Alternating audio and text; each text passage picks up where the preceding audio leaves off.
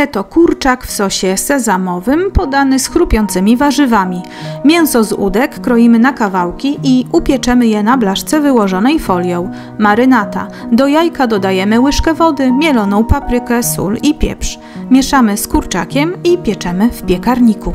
W tym czasie gotujemy warzywa na parze. Na dole marchewka, na górze fasolka szparagowa, sos sezamowy, czosnek ketchup, erytrytol, sos sojowy, ocet ryżowy, chili i oczywiście sezam. Dusimy.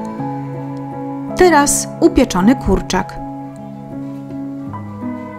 Mieszamy i posypujemy szczypiorkiem. Podajemy z chrupiącymi warzywami.